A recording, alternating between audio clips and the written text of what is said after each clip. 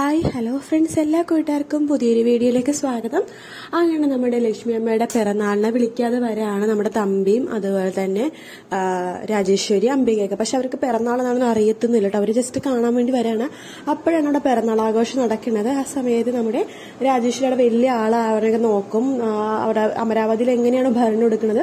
അതുപോലെ തന്നെ സാന്ത്വനത്തിൽ എല്ലാവരുടെ ഭരണം എടുക്കാൻ നോക്കുമ്പോഴേക്കും നമ്മുടെ ലക്ഷ്മി പറയും ദേ ഇത് അമരാവതി അല്ല സാന്ത്വനമാണ് നിങ്ങൾക്ക് എന്തെങ്കിലും ഒച്ചത്തിൽ സംസാരിക്കണോ പറയാനുണ്ടെങ്കിൽ നിങ്ങളുടെ അനിയനോട് തന്നെ പറഞ്ഞാൽ മതി. അത് ഇവിടെ വെച്ചിട്ടില്ല. ഈ വീട്ടിനെ പുറത്ത് വെച്ചെന്ന് പറയുമ്പോഴേക്കും രാജേശ്വരിക്ക് ആകെ അടി കിട്ടിയ പോലും കാരണം അത്രയും പേടെ നാണം കേട്ടല്ലോ.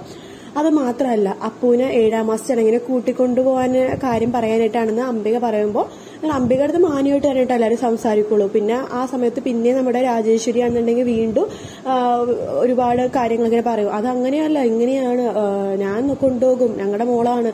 അങ്ങനെയാണെന്നൊക്കെ പറഞ്ഞ് ഭയങ്കര അധികാരം കാണിക്കുമ്പോഴേക്കാണ് ദേവി പറയണത് ഏഴാമത്തെ ചടങ്ങിന് വീട്ടിലെ പ്രശ്നമില്ല എന്നൊക്കെ പറയുമ്പോഴേക്കും പിന്നെ അവരോട് നിന്നിട്ട് കാര്യമില്ലല്ലോ അവരോടൊന്ന് പോവാണ്. പോകുമ്പോഴേക്കും അപ്പൂക്ക് ഭയങ്കര വിഷമവും. അപ്പോൾ ഓടി പുറകെ പോകുന്നുണ്ടെങ്കിലും ആരും തന്നെ മൈൻഡ് ചെയ്യില്ല. അമ്പിക പറയും പോട്ടെ മോളെ സാരില്ല ഇവർ അത്രമാത്രം ക്രൂരത അവരോട് ചെയ്തുകൊണ്ടല്ല അവർ ഇങ്ങനെയൊക്കെ പറ- പെരുമാറിയത്. ഇത് ഏറ്റവും കുറവ് രീതിയിൽ അവർ പെരുമാറിയത്. അവർ നീ അവരെ വിഷമിക്കരുത്. നീ അവർ അവിടെ തന്നെ നിൽക്കണമെന്നൊക്കെ അമ്പിക പറഞ്ഞ് മനസ്സിലാക്കിയിട്ട് അമ്പിക അവിടെ നിന്ന് പോകുന്നുണ്ടെങ്കിലും തമ്പി തിരിഞ്ഞു പോലും നോക്കാണ്ട് പോവാണ്. ആ ഒരു ദേഷ്യമാണ് അപ്പു ഹരിയുടെ അടുത്ത് ആ കുടുംബത്തോട് പിന്നെ കാണിക്കാൻ പോകുന്നത്. കാത്തിരുന്ന് കാണാൻ വീഡിയോ ഇഷ്ടപ്പെട്ടെങ്കിൽ ലൈക്ക് ചെയ്യുക സബ്സ്ക്രൈബ് ചെയ്യുക കമന്റ് ചെയ്യുക. മറ്റൊരു വീഡിയോ ആയിട്ട് വരാം. Take care bye bye